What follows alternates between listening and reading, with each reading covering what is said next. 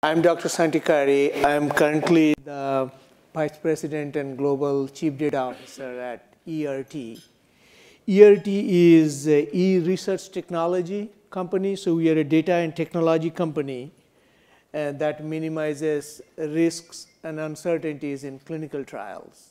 So here, our customers are pharmaceutical companies, biotechnology companies, medical device companies. So we run clinical trials for them. So today, we are going to talk uh, about the cloud platform that we have built uh, that is running some of the trials as well as minimizing the BI and AI, that kind of thing. So let's uh, jump into it. So a little bit about the company. We are founded in 1977, uh, privately held, about 2,500 employees, operations in 12 countries, and obviously, as I said, we support uh, pharmaceutical companies. And um, so some of the things that uh, we have accomplished over the years, like 50% uh, of the FDA-approved drugs uh, over the past four years used our platform. So you can see the uh, length and breadth of some of the things that we do using our platform.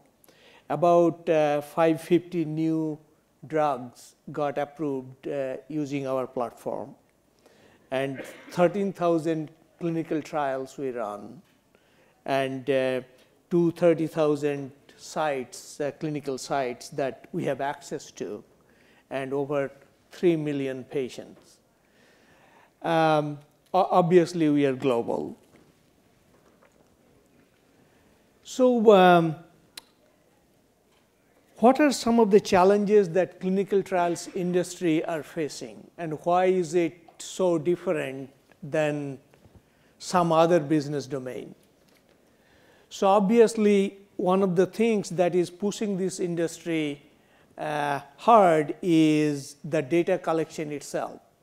So usually the clinical trials are geographically dispersed, and uh, we use sites as well as patients, and patients use all kinds of devices uh, you know, for data access, multiple access methods, multiple devices, multiple data types. So not just structured. You have lab data, you have imaging data. So all kinds of different types of data, multiple vendors, uh, and also, you know, the patients and all the sites are also geographically uh, dispersed, as I said. And then lots of site qualification related requirements as well. So the data collection itself is a big deal. It's very complex, as you can see, both real time as well as different types of data of different velocity. Obviously, collection is one thing, and then you have to process that data and also allow that data to be accessible uh, so that uh, the data coming from different sources are also gathered in one place so that pharmaceutical sponsors have access to that integrated data set, high quality data set.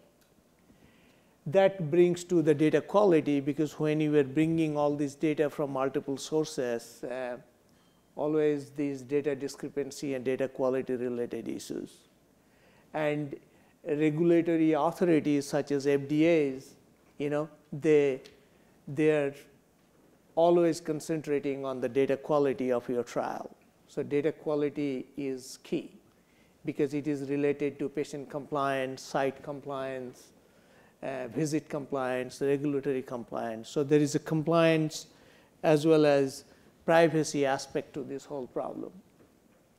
And then obviously oversight and monitoring. The moment you have too many vendors, too many sites, too many patients, you always need that oversight.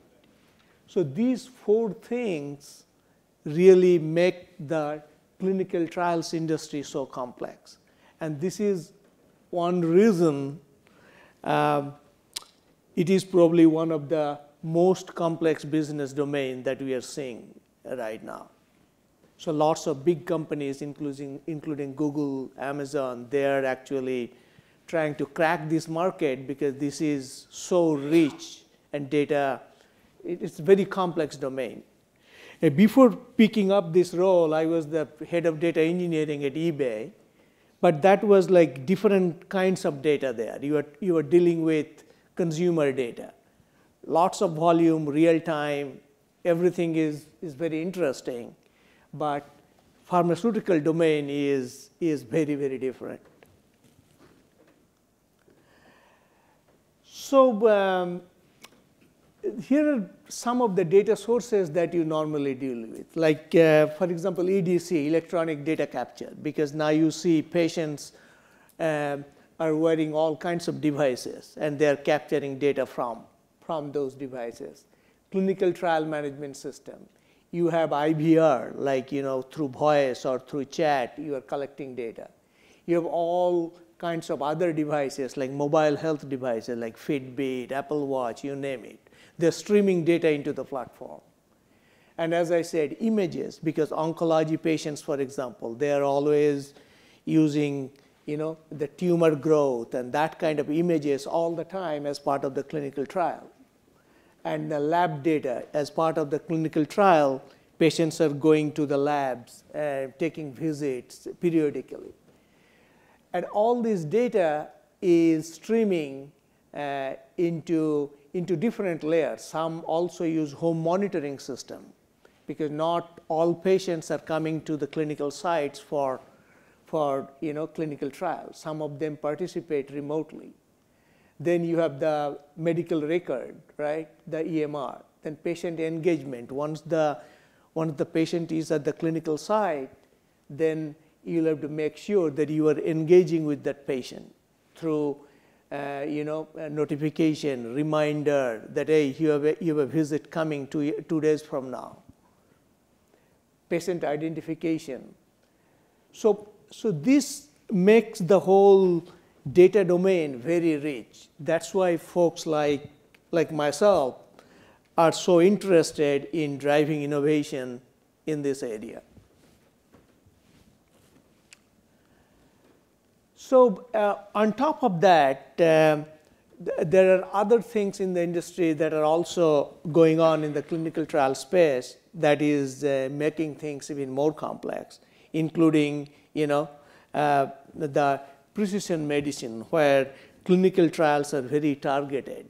So you have you are running like micro trials.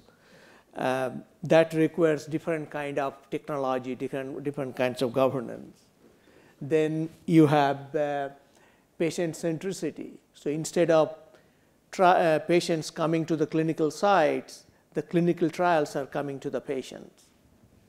And, and obviously, this is a real big data challenge because we all talk about big data, but the clinical industry, that's where you see not only the velocity of the data, but also the variety. And obviously, the privacy is, is key to what we do. So technologies such as blockchain is also uh, a huge popular thing in our industry. So uh, as you can see, uh, exponential data growth, uh, not only the volume, but also the velocity, real timeliness, variety, all kinds of different types of data we are talking about, and then also the data quality. So each of these require a different kind of uh, technical uh, architecture to really deal with this complexity of this domain. So our um, customers, mostly pharmaceutical companies and others, are coming to us and uh, just looking for help because they need to make sure that they're investing multi-billion dollar to launch a drug, they want to make sure that they are successful. Usually it takes 10 to 12 years to launch a drug, about $2 billion. So think about the investment and the risk that, that uh, each trial brings to the table. So uh, that's where we come in, and then we run the clinical trials for, for pharmaceutical companies. So um, we'll talk a little bit about the architecture that we are using, um, and then uh, see how much we can cover a little bit. So we take a very architectural approach to our data platform. So our goal is to uh, put high quality data in the hands of people who need it. That's our uh, data office that I lead. That's the mission of my data office. That data accessibility as well as data monetization. So we take a data governance approach. So we need to make sure because data quality is key to what we do. And the only way you can maintain the quality of the data over time is to institute data governance. So we take a data governance approach.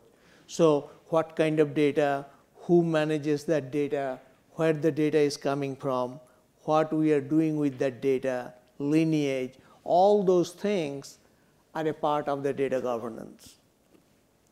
Obviously, uh, modern data platform just for scale because our industry is all about can you do things for me at scale? So all about scaling because it deals with different data sources, different integration paths, structured, unstructured, and binary data as well. So, and streaming data from all those devices that we talked about. So it is, it is a problem that is screaming for scaling. So that's why it requires a modern data platform approach. And since we are in a very regulated industry, uh, dealing with HIPAA, GDPR, and uh, whatnot, um, we are very regulatory bound. So we want to make sure that we are um, keeping the patient data uh, in a safe place uh, with privacy and security in mind. And then uh, master data management because um, uh, the, the, these two go, go hand in hand uh, because you need to have some basic uh, master data and metadata management in place so that you can use both process and technology to drive the data quality. So, uh, but, but again, there are, there are best practices around it. We are not going to go deep into those things. Uh, but these two are very, uh, very basic things that uh, any modern platform has to have. So um, the attributes that, uh, that we go for in our platform is, as I said, all about scale. And we are transforming data into strategic uh, business assets using modern, secure, and cloud-based data platform. And scaling is one thing, obviously cloud-based, and it's a, it's a modern stack and governed, as I said, using master data management and data governance. And uh, it supports both real-time and batch architecture, what is called Lambda architecture. I have, a slide on that. So uh, some of the benefits that we gain is uh, it enables our customers uh, to do real-time decisioning. Another thing it does is it, it allows us to ingest data at scale. Um, we use uh, both on-prem and cloud because many of our um, systems are still on-prem, but some of our modern platforms and services, they are cloud-enabled. And um, as I said, we are also focused on data monetization because we are sitting on a mountain of data related to so many clinical trials across so many different sponsors and pharmaceutical companies. So uh, our goal is uh, to, uh, to do, do, do uh, data monetization through application of AI and machine learning. As I said, uh, some of the architectural concepts are basically it's a layered architecture that enables data of any type to be ingested uh, and you know seamlessly into the platform. Uh, not only structured data, but also unstructured and binary data. Uh, it, it also deals with uh, polyglot. That means we use different kinds of database technologies based on the use case that we are solving. Sometimes we use relational, that's the most popular one.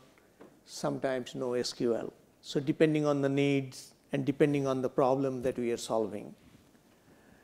And obviously, as I said, um, data standards, master data management, policies, and, and, technical metadata, business metadata, they are key because they, they're the glue that, that, that holds everything together. And then the, all the non-functional requirements for the platform, like availability, security, uh, performance, and all those good stuff. Uh, you architect with all those things in mind. So security, for example, is a big deal in our industry, as is privacy. So when we build our platform, we take those attributes into account while architecting our platform. They cannot be an afterthought. And then obviously we have the access layer. You are collecting all this data. How do you enable your users to really use this data across multiple channels? So that can be data science channel through AI, we have open data API so that it allows anybody to access to the data, interact with the data using API. And we have obviously traditional BI because traditional BI is so important. Uh, and, and, and also simple reporting. What you see is what you get because they want to know how is my trial going every day. For that, you don't need AI, you need simple reporting, right? So based on the use cases, uh, you need all different types of channels for data access. So they complement each other. They don't like eliminate each other. So it's not either or. We also use microservices architecture. As you guys probably know, microservices are like, you know, you just do one thing well. Don't try to do too many things within one service so that you can scale that service depending on your need.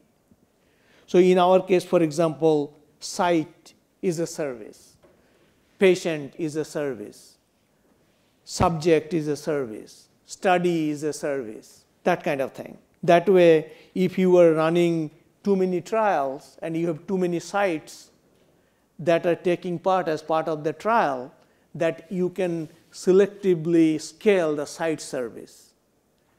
So that you know you don't want to scale the entire application just because site needs more attention in terms of performance or scalability. So you just go uh, uh, scaling uh, individual services. And that's the beauty of uh, the microservices architecture, at, at least one of the benefits. There are several other benefits, obviously polyglot being one of them. For what, uh, one microservice, you could use NoSQL as a backend, but for another service, you could use a relational database as a backend. So it, it gives you that, that, uh, that flexibility in terms of choosing your tech stack. Obviously, uh, uh it, it allows you to be agile. Uh, it allows you to be innovative all these things are good, but there are challenges too. So don't jump into a microservices architecture without really understanding the challenges. Because it's a, dis, it's a distributed computing um, concept and distributed computing is hard to do easier to say than, than done basically. And uh, particularly automation and um, organizational issues, you have to think, think all those things through as well, as is skill sets, obviously. So sometimes the transition from monolithic to microservices is, is not easy. I would say in most situations, it's not easy.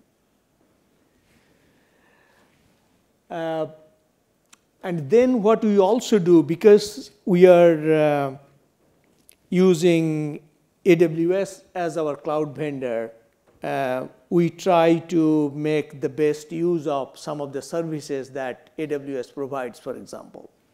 So one of the things that, that, uh, that AWS provides is uh, serverless computing, where you know you further break down your microservices into functions, what they call lambda function. So we, we take full advantage of this architecture because this is like you know uh, just the compute cost, so that uh, each time you call this function, you pay for that compute usage. So it allows us to also scale individual function so that so that we know that uh, you know uh, so this is one way of scaling. And then you take each microservices and then break them down into into smaller functions so this is a relatively modern concept but uh, it's very useful we have been using it um, religiously And uh, as I said, one of the one of the benefit is uh, uh, characteristics is function as a service, compute as a service, you know, stateless, ephemeral because it's it's short-lived. So it's not like a long-running bad jobs. Usually, you know, between between five minutes to I think 10 minutes, they have increased the time horizon, I think, or 20 minutes. Event triggered. So when event is happening, it is triggering that function. So lots of benefits, uh, uh, coding without, you don't have to provision hardware or VM or EC2 instances. It, it, AWS takes care of that. And then no hardware, no software, you have to increase productivity, obviously. All you do is just bring your code and they just, you know, stitch them together, scale horizontally, and almost zero administration. So that's huge. But again, the challenges are vendor lock-in, uh, and, and you are at the behest of the vendor now, right? Monitoring, debugging could be a little difficult. And, and startup latency, because each time you fire the Lambda function, there is a startup uh, latency there. So you'll have to make sure if, if your transaction is, uh, uh you know, uh, if a user is sitting on the other side, uh, you need to make sure whether to choose Lambda function or an EC2 based installation of that, right? So it, it, depends on the use case.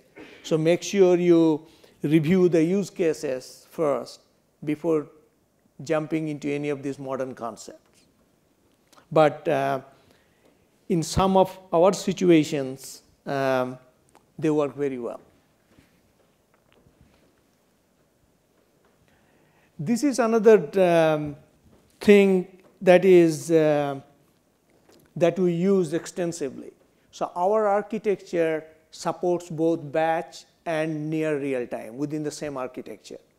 And in the industry, it is called Lambda architecture, whereas you can see the data is streaming in, and then you have a real time view of that data because the trial is happening around the world.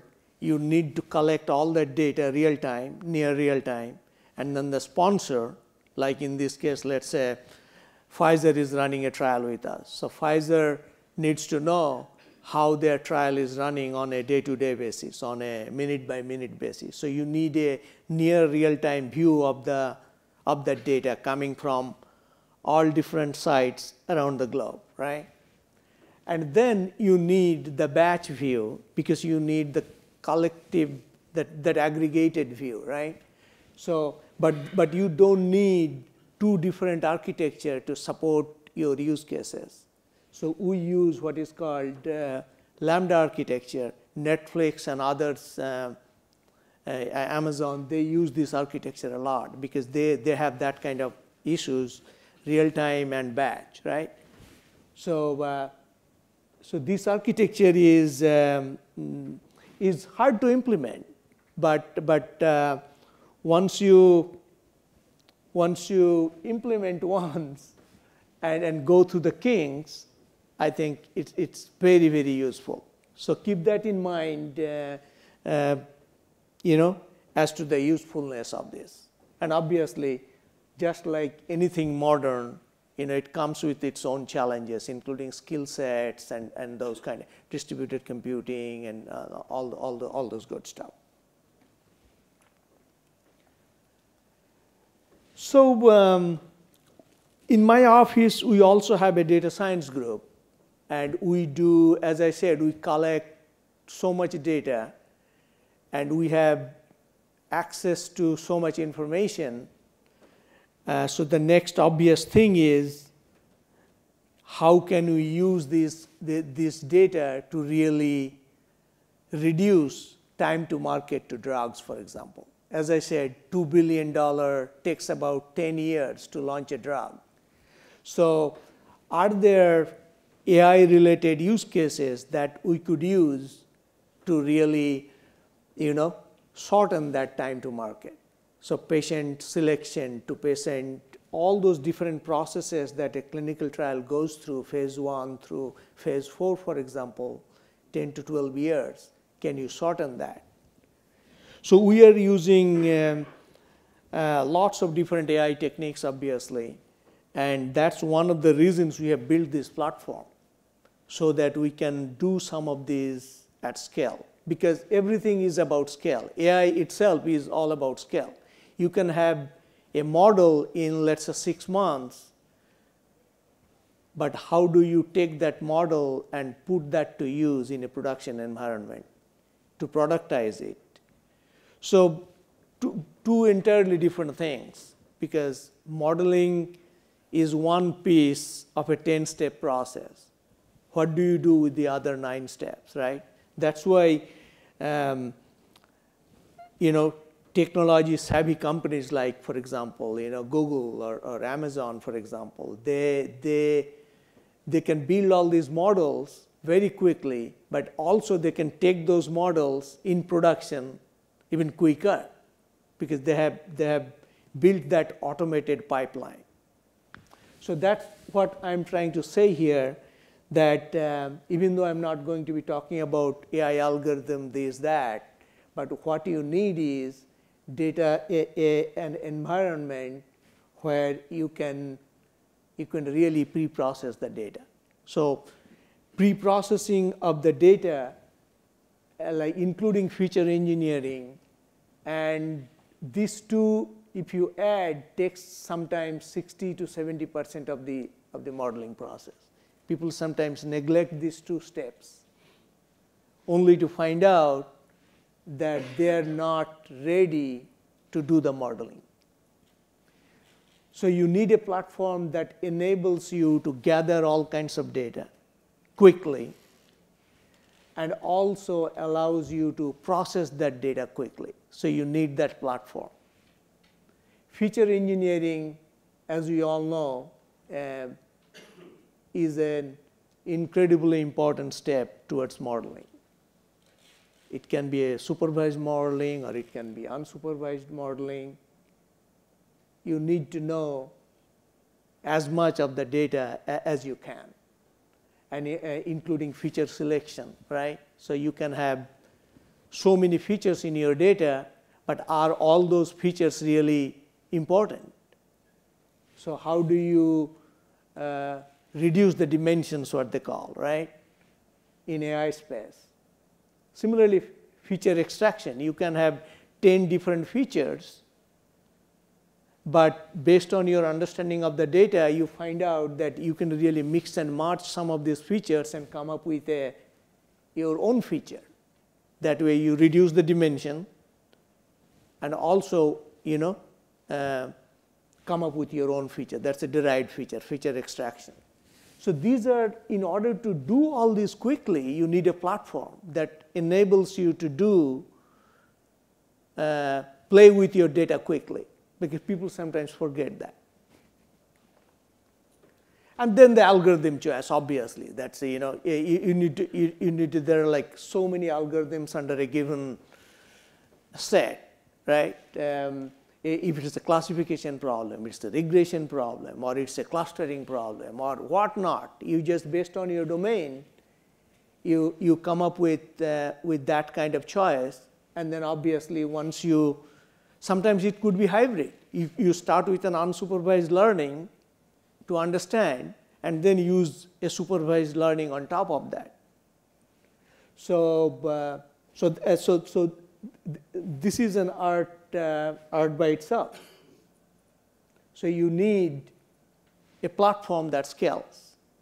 So, um, and then obviously, uh, as, as I was telling you, that once you have the model, from here to there, it's, it's very complex.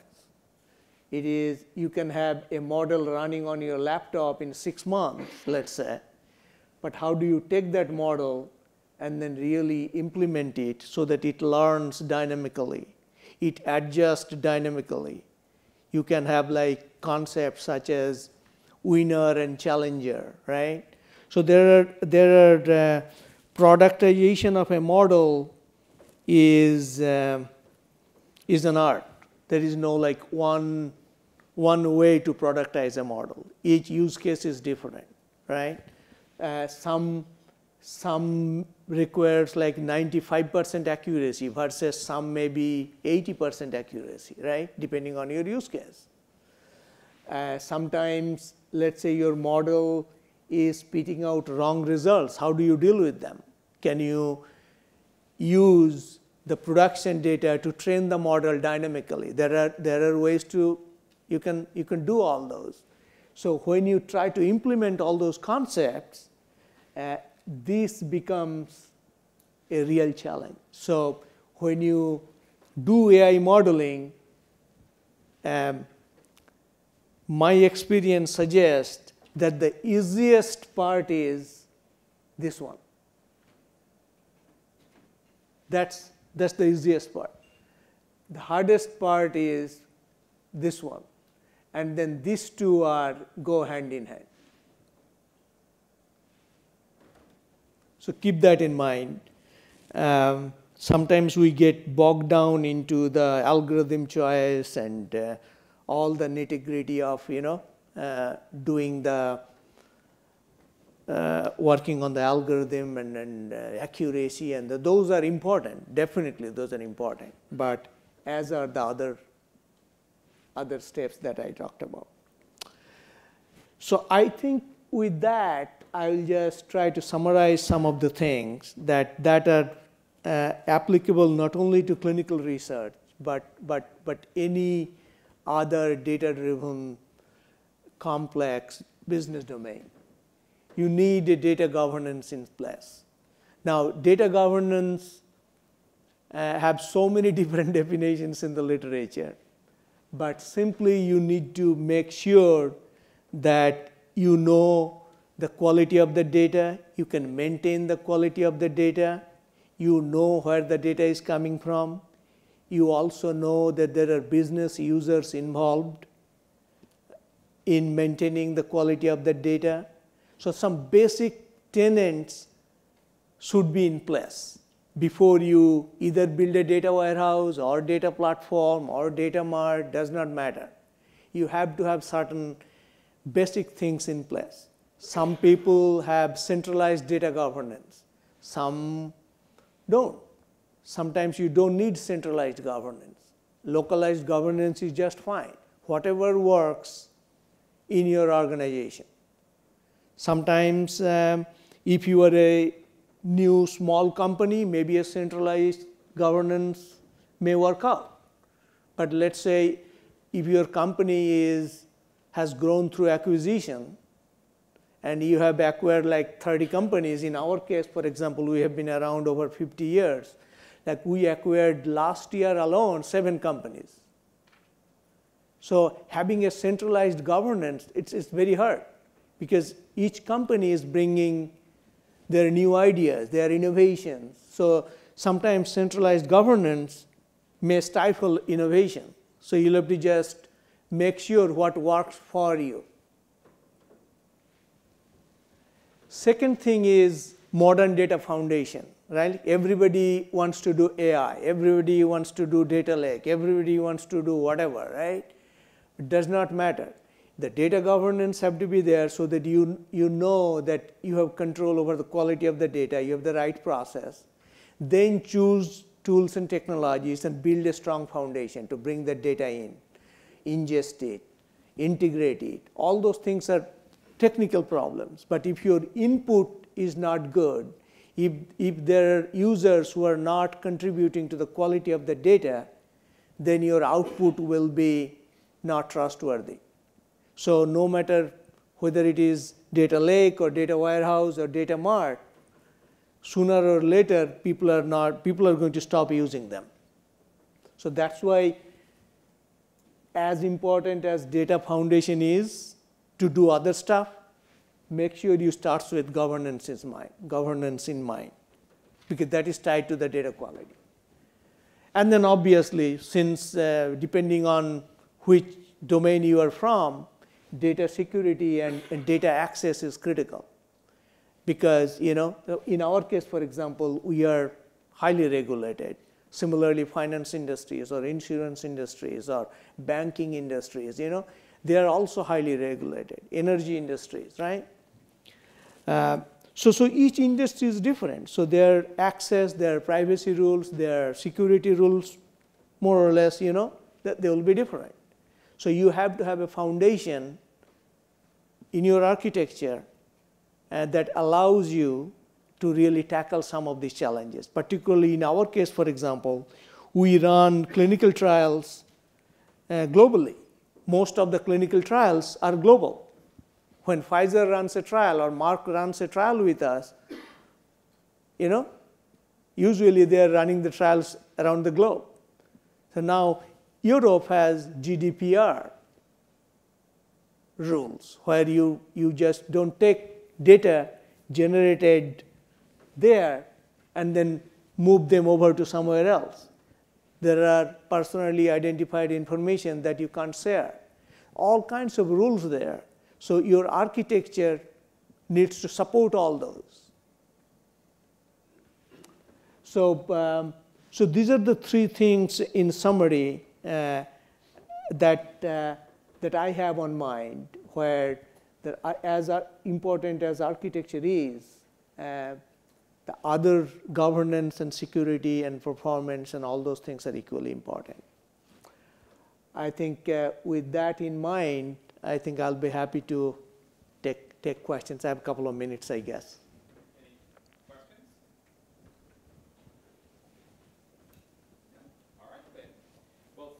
Yes. Thank you.